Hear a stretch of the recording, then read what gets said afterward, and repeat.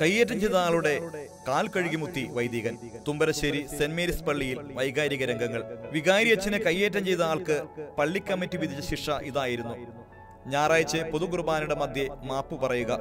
പ്രതി ഇരുപത്തി ആറിന് പള്ളിയിലെത്തിയത് മാപ്പ് പറയാൻ തയ്യാറായിട്ടാണ്. പള്ളി നിറയെ ആൾക്കാർ ആ നിമിഷം കാത്തുനിന്നു. വികാരി ഫാദർ നവീനൂക്കൻ കുർബാന മധ്യേ അദ്ദേഹത്തെ അൾത്താരയ്ക്ക് സമീപത്തേക്ക് വിളിച്ചു. ഇടവചനത്തോടായി പറഞ്ഞു പള്ളി കമ്മിറ്റിയുടെ തീരുമാനമനുസരിച്ച് ഇദ്ദേഹം വന്നല്ലോ. അത് അഭിനന്ദനീയമാണ്. എന്നിട്ട് അച്ഛൻ ഒരു പാത്രത്തിൽ വെള്ളമെടുത്ത് അദ്ദേഹത്തിന്റെ സമീപത്തിരുന്ന് ക്രിസ്തു ശിഷ്യന്മാരുടെ കാൽ കഴുകിയതുപോലെ കാൽ കഴുകി കാലിൽ ചുംബിച്ചു. സഹോദര എനിക്ക് അങ്ങയോട് ഒരു ദേഷ്യവുമില്ല. വിശ്വാസികൾ ഞെട്ടിത്തെറിച്ചു നിന്നു. അവരുടെ കണ്ണുകൾ ഈറനണിഞ്ഞു ചിലർ പൊട്ടിക്കരഞ്ഞു. ക്ഷമയുടെ പാഠം പറയുക മാത്രമല്ല പ്രവർത്തിക്കുകയും ചെയ്യണമെന്ന് പഠിച്ച പഠിപ്പിച്ച നിമിഷങ്ങൾ. അൾത്താരയിൽ വച്ച് അച്ഛൻ കുർബാനയപ്പം സ്വീകരിച്ചു. അദ്ദേഹത്തിന് കൊടുത്തു.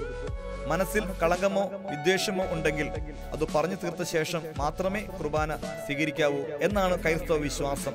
ഇദ്ദേഹം മാപ്പ് പറയാൻ തയ്യാറായാണ് വന്നത്.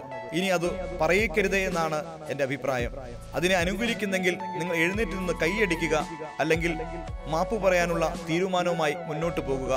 ഫാദർ നവീൻ പറഞ്ഞു. പള്ളി നിറഞ്ഞ ജനം എഴുന്നേറ്റ് നിന്നു ചിറകടി ശബ്ദം പോലെ കൈയിടി മുഴങ്ങി. തുമ്പരശ്ശേരി സെന്റ് മേരീസ് പള്ളിയിലാണ് ക്ഷമയുടെ സന്ദേശം പകർന്ന ഈ വൈകാരിക നിമിഷങ്ങൾ അരങ്ങേറിയത്. പ്രായമായവരെ ഫാദർ നവിനൂക്കൻ കഴിഞ്ഞ ദിവസം വിനോദയാത്രയ്ക്ക് കൊണ്ടുപോയിരുന്നു. തിരിച്ചു വരാൻ വൈകിയെന്ന് പറഞ്ഞാണ് ഇടവകയിൽ ഒരാൾ അച്ഛനെ കയ്യേറ്റം ചെയ്തത്. കഴിഞ്ഞ പ്രളയകാലത്ത് നാട്ടിലെ നാനാജാതി മതസ്ഥരെ സഹായിക്കാൻ മുന്നിൽ നിന്ന ഫാദർ നവിനോട് നാട്ടുകാർക്കെല്ലാം പ്രിയമാണ്. Elshaddai T Kochi.